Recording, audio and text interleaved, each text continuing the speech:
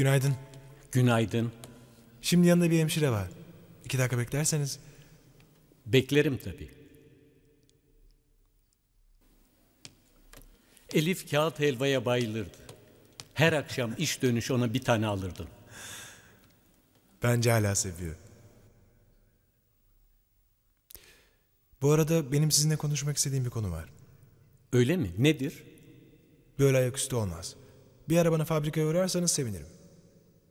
Hem de konuşuruz. Olur, gelirim tabii. Gidip kızıma bir bakayım. Görüşmek üzere. Tamam.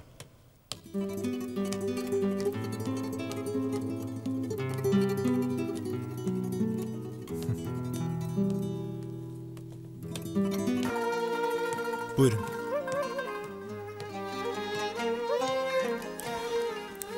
Nasıl buldunuz fabrikamızı? Çok etkileyici, müthiş. Hele bizim hapishane koşullarından sonra inanılmaz. Sevdiniz yani. Çok sevdim. Burada çalışmayı isteyecek kadar mı? Yok, onu demek istemedim ben. Anlamadım yani. Ben tam onu demek istedim. Ben burada çalışmanızı istiyorum. Ömer. Size Ömer diyebilir miyim? Lütfen. Bana iş vermek zorunda hissetmeyin kendinizi ne olur. Bu beni kötü yapıyor. Zaten doğru da değil. Bakın. Biz bir süre önce fabrikadan bazı işçileri çıkardık. Ciddi bir kriz yaşanıyordu. Başka çaremiz yoktu. Ama durumumuz giderek düzeldi. Şimdi iş bilen elemanlara ihtiyacımız var. İtalya'da bir firmayla çok iyi bir anlaşma imzaladık. Sizin gibi deneyimli insanları bulmak da hiç kolay değil.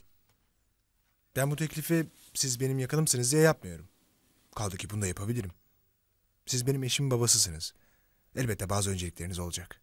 Teşekkür ederim Ömer ama Bakın, daha da önemlisi ben güvendiğim insanlarla çalışmak istiyorum. bana güveniyor musunuz? Elbette güveniyorum. Hele bu konuşmadan sonra.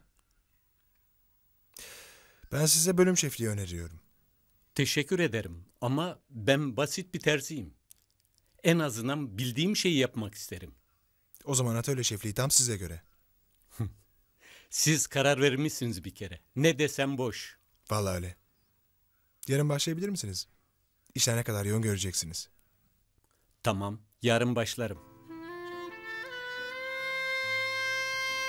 Çok teşekkür ederim Ömer. Yarın sabah görüşürüz.